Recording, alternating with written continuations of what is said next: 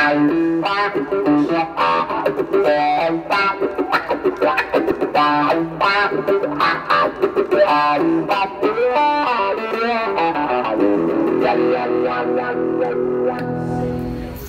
Vintage Guitar, it's Popa Chubby. How you doing?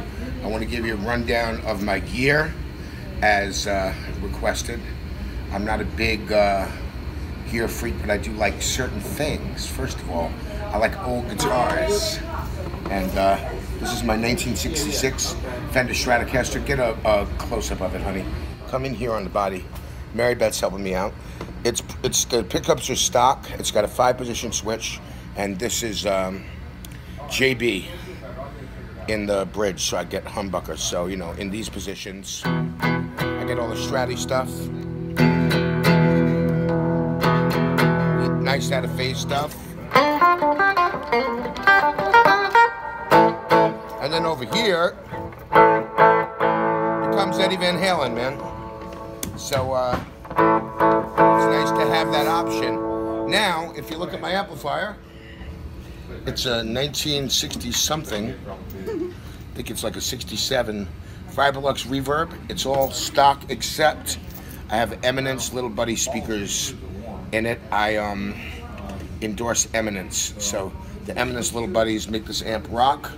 It makes it way more efficient on the low end. And uh, that's just the amp. That's like no pedals, man. Just a little delay, but check that out. That's pretty fat, right? What you want here? Your vocal? Yes, sir. What else? That's it? That's it? Yeah.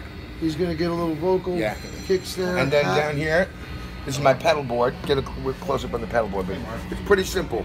I'm using the JHS analog delay, a Boss DD2 that I use for slapback effects, a Fulltone ultimate octave chorus, the Univibe pedal by MXR.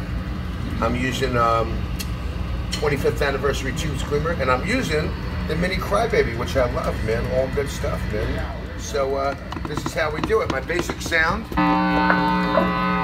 is just slam into the um, tube screamer with a little delay, kind of like this.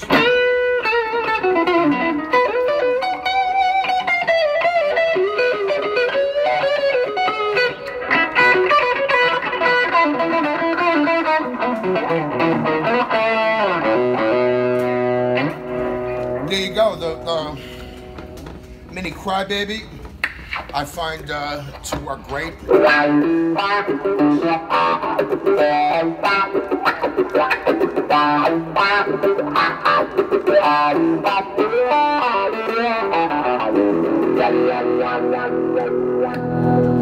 So, uh, and, and the Univibe's nice, man. Especially for some heavy stuff, you know.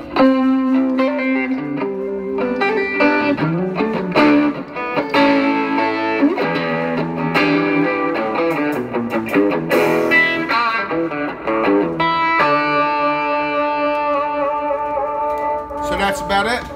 Vintage guitar. Thanks for checking out my stuff, and we'll see you on the flip flop.